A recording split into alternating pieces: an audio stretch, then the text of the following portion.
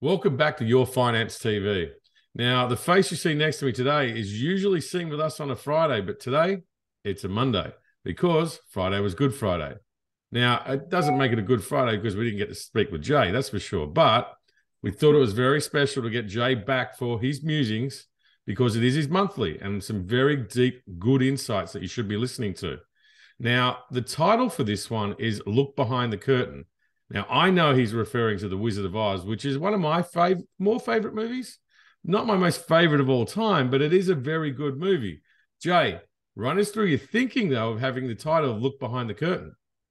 Well, uh, Scott, great to see you and hope uh, Easter was good. And for all of those who celebrate Passover, Ramadan, Easter, it was a all inclusive weekend, I guess, for everybody, right? Yeah. Uh, this was uh, Look Behind the Curtain and uh, The Wizard of Oz. I know Oz is shorthand for Australia, so you probably know all about the kind of thing with witches and goblins and flying monkeys and stuff. I mean, I think that's called Tasmania uh, in in general, is it not? Probably more like up north, where we've got a lot more stuff that can kill you. That's for sure. yes. No. Okay. So enough of the joking aside. Um, look behind the curtain. It really struck me, Scott, as I was writing the monthly, that uh, it was pretty apropos for the environment. Right. We have this curtain, I would say, of fear, uncertainty, and doubt. The famous FUD and it's really gotten investors very nervous. You look at sentiment indicators, you look at positioning, you know, all of that suggests that people are very much afraid. And it's kind of like what what what struck me was that scene in the movie, the original, the classic Wizard of Oz, when Dorothy and the Tin Man, everybody are towering in front of this huge, awesome voice and lights and everything, and then Toto, the dog, kind of pulls the curtain away and you realize that there's no great and powerful Oz. It's simply a little old man, you know, pulling levers and stuff to try and create this FUD, this fear, uncertainty, and doubt uh, curtain. So our point at TPW is that when you pull that curtain back, that fear, uncertainty, and doubt, it's not a big brown bad Kodiak bear uh, that's that's waiting for you. It's actually a series of uh, very important tripolar world, so global uh, policy shifts that are unfolding, and that we think are going to create the dynamic for a high nominal growth world uh, that is early cycle, not late cycle. So to to kind of parse through that a little bit, uh, most people are thinking we're late cycle, that we're going to go into uh, recession. And so late cycle playbook is long duration, defensives and equity space, uh, things of that nature, as opposed to early cycle, where you want to be in cyclicals, you want to be in stuff that's going to benefit. You don't want to be long duration. You want to be in things that are going to benefit growth uh, from growth. And so the, the major policy shifts that we think are unfolding and that are being obscured by the FUD curtain are uh, first and foremost central banks in the developed world accepting a higher inflation target than simply 2%. We've touched on it before, but we're really emphasizing it in the monthly. There's nothing sacred about 2%.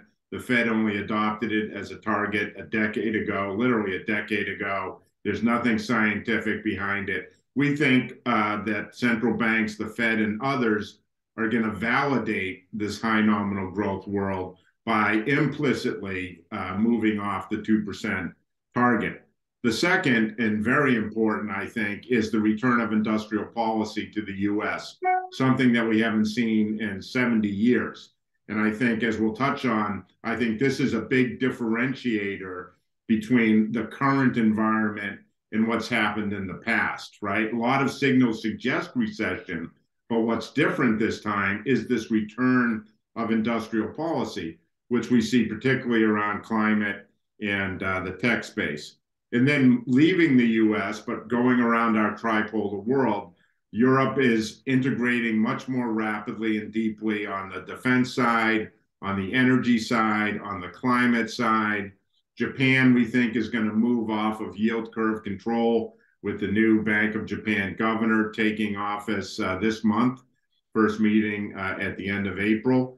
And then importantly, China's shift from fixed asset investing to uh, domestic demand led growth. So those are all big, big policy changes that are not fully appreciated because of the fear, uncertainty, and doubt curtain.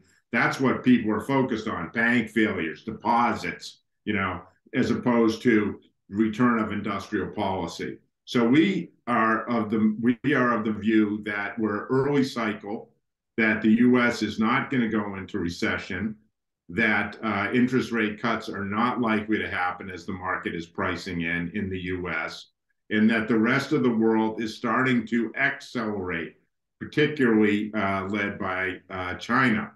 And we think that's a pretty good world for risk assets, uh, particularly outside the U.S as we continue to feel that a Fed on hold equals a weaker dollar, which supports non-U.S. Uh, equity uh, outperformance, which we've seen over the last year or so, but we think we're just in the early innings of that secular shift. Okay, so with your monthly piece, and for people who haven't watched this before, don't forget to click on subscribe below, but also don't uh, Jay breaks it down into five different segments climate, economics, politics, policy, and markets. So, what we're going to do now, we're going to break these all down into those segments. So, we're going to start with climate, and COVID's obviously always one that's in there, and it's a key one. It, it seems to be like there was a lot of fear around COVID. Maybe that fear is not so much around anymore. Yeah, I think that's uh, that's a, a really good point, Scott. And I would also say to potential new viewers that the monthly is you know, a big lift for us. It's about this one was over 6,000 words, uh, 26 charts and tables from over 20 different uh, sources for us. And so you really get the best of not only our thinking at TPW, but a broad uh, group of research providers who we have access to, and we're cherry picking from their work over the course of the last month to provide the charts and tables that we put into the monthly. Um, and so I think that's an important point. There's a lot to dig into here. But with the climate side, again, I think you're spot on. We're making the case, Scott, that we're past COVID. We're now passing through the inflation story, which was a fallout from the COVID period, we believe, for the most part. Uh, and as we move past inflation and inflation fears, uh, climate is going to kind of resume its place as a really important uh, issue for uh, investors. And we see it really driving the unfolding of our tripolar world of regional integration in Europe, Asia, and the Americas, particularly through the regionalization of electric vehicle supply chains. And we go into that in some depth in this in this piece, particularly uh, in the Americas. And then I think most importantly, the main takeaway from the climate uh, segment is that the public private nature of the funding is going to protect the climate investment process from worries about credit and bank lending, et cetera. And that again is something that's different from the past. That's the re- it's the return of industrial policy, the in- Inflation Reduction Act, the Infrastructure Act, the CHIPS Act in the United States. All these are putting public money into the economy in a way that we haven't seen literally since the 50s. And that is protecting the economy against the downside risk that many people see. So, that to us is a big buffer against the recession call that a lot of people are making, and which we continue to disagree with. And so, finishing on climate would say simply it's the single biggest global macro theme out there. And it's been kind of obscured again because of COVID, because of inflation, now because of bank worries. But to us, it's one of the single biggest themes. We want to be invested in it, and we are in both our model portfolios, our global multi asset as well, and in particular, our TPW 20, which is thematic focused has about 40% of the model portfolio invested in climate. Now let's move on to economics then. So I, I can't stop seeing the word recession. Obviously, you've touched on this already as well, but everyone seems to be throwing the word out there. It's like uh, the Easter break. They're like, no one else had any different ideas. I just put articles out on recession, recession, recession.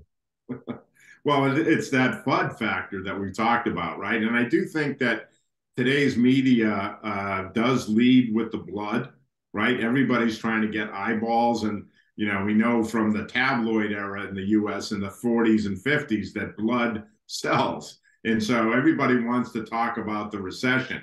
Nobody really wants to talk about, you know, the return of industrial policy to the US. Um, and so, you know, we, we talk and actually lay out a couple of uh, folks that we respect um, their cases for recession in this monthly and kind of go point by point where we disagree. I found it to be a useful exercise. Um, in in our view, basically, the fall off the cliff U.S. recession argument, right? We're gonna we're imminent. It's coming in the next quarter, the next couple of months. Just doesn't compute for us. We we just don't see it, and it's hard to identify it. You just think about the jobs numbers last Friday, right? Pretty pretty decent, cooling, right? And so good on the inflation side, but still, you know, 250,000 or whatever the number was, 235,000 jobs is a good number. Housing has bottomed. In 08, everybody wants to talk about 08. In 08, housing was uh, a disaster. In this case, today in 2023, housing has already bottomed. And we know that because we own XHB, which is the housing ETF, in our global multi asset model. We've had it in for several months. It's actually doing quite well. So that's not recessionary. People want to talk about commercial real estate. Granted, I mean, I'm in New York, right? I'm in New York City. You know, it's obvious that uh, commercial real estate is struggling, but it's all people are talking about you know, a trillion dollars that have to be refinanced in CRE by 2025. 2025, that's two and a half years from now. You know, so it's it, it, it's a scare tactics. Credit is solid. You know, you look at credit spreads. Usually, the the the tail that wags the the dog of the equity market, particularly in recessionary times. There's no sign of recession in credit spreads. And I think manufacturing, a lot of people like to look at the ISM data there at 46 and say, oh, this is recessionary territory. Well, we think we're much closer to the bottom of that uh, decline in the ISM manufacturing. I would note, and we do note in the monthly, that it's already been declining for 25 months. The average length of decline is 17 months. And one of the things that ends the decline is a weak dollar which supports exports and supports manufacturing. And lo and behold, what do we have? And we have a great chart in the monthly um, highlighting that uh, that relationship and showing that the weak dollar, down about six or seven percent, uh, should start to positively impact the new orders and new export orders in the ISM. So we don't really see it. Uh, we don't see an imminent recession in the U.S. And people keep pushing it out pushing it out. It was supposed to be in the first half of the U- uh, of the year. Now it's the middle of the year, or late in the year, or early in 2024. So, I mean, at some point, you know, when, while people are talking about it, you know, investors who are positioned in risk assets like equities are actually doing quite well, and we'll get to that in the market section. So, two other points on the economics is what about the rest of the world? What's happening in Europe? Well, in Europe, uh, to give you an idea, uh, the composite PMI averaged 48.5 in the second half of 2022. And guess what? In Q1 of 2023, it's averaged 52. In other words, the economy is getting better. In March, the reading was 53.7. That certainly doesn't sound recessionary. And then you think about Asia and you look at China and China's March services PMI just came in at 57.8, the best in over two years. Japan's industrial production is running at 4% up month over month in, the, in February. And finally, the Asian Development Bank just boosted developing Asia's 2023 growth forecast from 4.6 to 4.8%. So you know, recession, certainly not outside the US, right? The rest of the world is starting to accelerate. Another reason why we're highlighting non-US equity opportunities. Weak dollar, Asia and Europe accelerating their growth, and that's the that's the global outlook that we bring to the table at TPW. We're not just looking at the U.S. We're looking at the whole world, uh, and we think our tripolar world framework of regional integration in Europe, Asia, and the Americas gives us an edge on understanding how things are playing out versus other folks and firms who have more of a single uh, outlook on a single country or a single region. Let's move on to politics now. Obviously, last week we had the whole storm, stormy in a teacup with Trump. Um, but it's like, listen, it's, it sort of really died in the bum. I know it's sort of made a little bit of press coverage and so forth, but there wasn't really that much that came from that. Like Europe's more interesting to me on that front. Like there seems to be a lot more happening in Europe to me. Yeah, no, I think you're right. I mean, I, I we we make the the note uh, President Trump gets arraigned and Manhattan barely blinks, right? I mean, there was nothing. We're 20 blocks from uh, the the courthouse, uh, and you know, it, it had no idea in our neighborhood that anything was happening. That's what the joy of New York. It's big enough to absorb the first ever presidential, uh, first ever indictment of a former president, and nothing even seems to be happening 20 blocks away. Uh, but your point about Europe is well taken, and where we really dig in is kind of the European parade of leaders or parade of European leaders to China over the last couple of months, right? Chancellor Scholz of Germany, uh, the Spanish president, uh, French uh, President Macron was just there over the weekend, together with the European Commission head uh, Von, von der Leyen. And so all of this, I think, is uh, Europe trying to get China to influence Russia to uh, to cease and desist in Ukraine. And it will be very interesting to see if this happens. I think, and we think at TPW, that President Xi in China is playing very interesting game because it might be he wants to have China and the U.S. be seen on an equal footing. And clearly, he's moving away from wolf warrior diplomacy, as we've talked about for the last several months, towards a more kind of China is peaceful and we want to help and we want to bring people together like Saudi Arabia and Iran. And I'm wondering if the the uh, the the view of China is that President Xi can bring uh, President Putin to the table, it, strike a deal on Ukraine. The Europeans would like to have a deal on Ukraine, and China starts to look to the rest of the world as a peer of the United States in terms of global diplomacy. That would be a very big win uh, for China politically and for President Xi. And that's the thing that we're looking to see.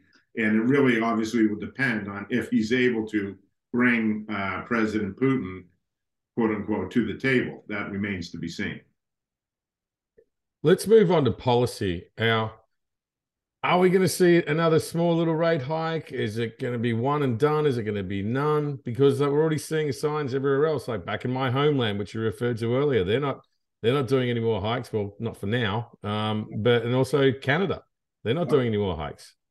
Yeah, and I think that's the trend, and we've been talking about it again for months. We think we're at the end of the rate hiking cycle globally, and we're at the we're approaching the beginning of a rate cutting cycle 2022 was a year of inflation and rate hikes. 2023 is a year of disinflation and rate cuts, particularly outside the US. As I said before, we don't expect the Fed to cut rates in the second half of this year. We also think the Fed is going on hold. So our vote uh, is uh, no rate hike in May. Uh, we'll see what the inflation data looks like, uh, I think, on Wednesday of this week, right? And then yep. I think there's another jobs report before the Fed meets again. Uh, and we think the conclusion is going to be they're going to go on hold um, and join, as you say, Canada and Australia. So it's not only the emerging countries that have gone on hold, that happened late last year. Now the developed economies are also starting to go on hold. And we think the Fed is going uh, to join them. And we think the Fed on hold will be the green light to signal to some of the emerging market central banks that they can start to cut rates. And so we don't, we continue to be of the middle path view. So no uh, recession. Uh, and as I said, no rate cuts uh, in the second half of the year for uh, the Fed. That middle path view, again, you know, one of the things we pride ourselves on at TPW is kind of really trying to focus on the future. And we've had the middle path view, as you know, uh, Scott, but some of your new viewers might not. But we've had that view of a middle path between high inflation and deep recession since uh, last summer. So it's going on nine months, almost a year, uh, uh, and and we haven't changed our view one iota. Uh, and so that continues to be the view in the U.S. As we touched on, we think Japan is going to move off yield curve control. That could be very bullish for domestic investor reallocation out of fixed income into equities, something we're watching carefully. And then China's policy mix continues to be very, very different from the US. China is providing liquidity, People's Bank of China cutting rates, the property market, which has been a big drag, finally starting to show signs of resuscitation. We note, and we have some great charts in the monthly, but we note that residential property sale proceeds were up 29% year on year in March, versus after 15% gains year over year in February. So one of the key drags to the Chinese economy, a weak property sector, is starting to uh, accelerate. And so we, we expect China to grow around 6% this year and lead the rest of the world into a new global growth cycle. Well, that leads us nicely into markets. Now, listen, last week was probably a very small, flattish sort of week for the markets, but year to date, US markets have performed very well, especially NASDAQ. Now, well, they have, uh, but uh, believe it or not, the rest of the world's performed even better, uh, particularly the EFA markets and particularly Europe, which was up about 15% in the first uh, quarter, which is an amazing statistic.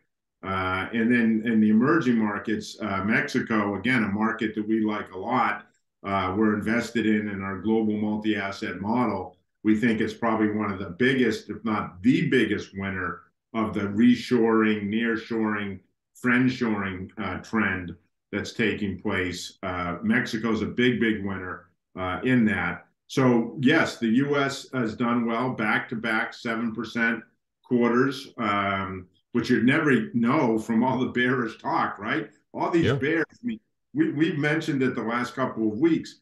If I was, I'd be much more worried if I was a bear, right? We're not bears. We've been pretty constructive.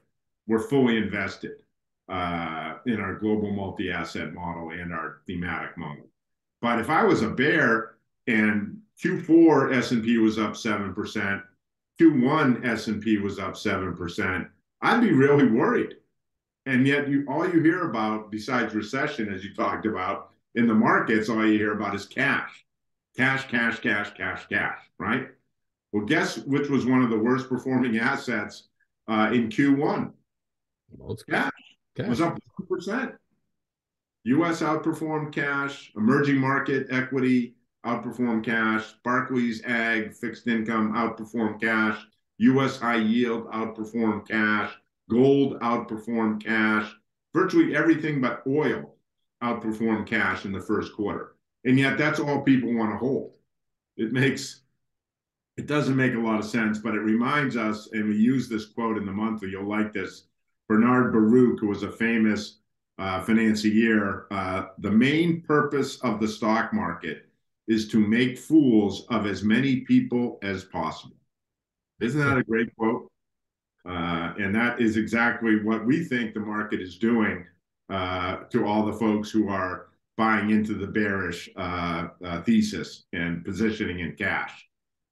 Cash is like the market, if you look back over the last uh, couple of quarters, the market would have to go down 10 or 15% before cash would outperform. Well, hopefully That's, we don't see that. Yeah, let's hope we don't. I don't think we will. And one of the reasons why and we touch on it in some detail in the monthly, is uh, work of uh, Bank of America, which uh, has multiple indicators that they use to look at global earnings growth. And their indicators kind of come in and around flat to slightly up global earnings growth. but they point out that that growth sensitive risk assets are pricing in a 10% decline in global earnings over the course of this year. And, and they make the point, and we agree, that risk assets, particularly exposed to growth, have pretty much discounted um, the, a lot of the bad news about global earnings and economic growth. They B of A says they've already been absorbed by financial markets, and, we couldn't agree more. Uh, so one more data point, and then we'll finish up. The the data point I want to make sure people uh, that I reference is the long trading range that the S&P has been in right around 4,000, which is now going, according to Bloomberg, roughly 233 days. The, the S&P has been oscillating around 4,000. And, and Bloomberg notes that the typical extended trading range peaks at about 250 days, so less than a month away, right? And that the Fed tends to be the catalyst that breaks that that that helps break the equity market out of that trading range. And so our bet is that it is going to be the Fed. The catalyst is going to be the Fed going on hold, and the equity market is going to break out and up as opposed to out and down, right? That's the recession call. We're pretty clear that we expect the Fed to go on hold. That will be the catalyst markets break out of this long trading range up and out. Uh, and the opportunity is really in the cyclical, and this is completely against consensus. We have a chart uh, from a JP Morgan survey that shows, you know, what segments of the market are you invested in? JP Morgan asked their clients. 2% say cyclicals, 58% say defensives, right? So we think the opportunity is in exactly the stuff that's been sold since the banking stuff unfolded, which is all the cyclical stuff, right? The the banking uh, kind of mini crisis uh, really was the straw that broke the camel's back in terms of recession pricing, right? Bonds immediately priced in recession, down 100 basis points or more. Equities, particularly cyclical type uh, equities, energy, financials, uh, things of that nature, industrials, um, have priced in uh, the good part of a recession. And so that's where we think the real opportunity is. You have the fear, uncertainty, and doubt curtain. We think it's going to be pulled back, not going to be a bear, but rather global growth, new cycle. And investors have been presented a real opportunity with the repricing of recession uh, over the last month or so in much of the risk asset markets around the world. And Jay, for viewers, where can they go uh, sign up to see see these musings? Yes, uh, Jay Pelosky, oh, sorry, Pelosky.com, uh, P E L O S K Y dot com. And you'll find the access to our musings, which is every Friday, and our monthly, once a month, uh, available there, as well as information on our uh, two model portfolios, 100% ETFs, both of them global multi-asset, our flagship, and then our TPW20 thematic model. Fantastic, JJ. Once again, thank you so much for the monthly breakdown. I'm going to see you again on Friday, and so can all the viewers. Two times in one week. That's It's Christmas guy. has come early. all right, Jay, you have a great week. We'll talk to you Friday. All right, Scott. Thank you. You too, buddy. And for everyone else out there, good luck investing.